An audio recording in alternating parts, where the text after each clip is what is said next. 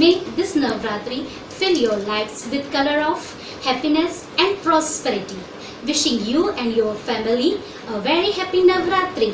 माँ दुर्गा का आशीर्वाद आप सब पर बना रहे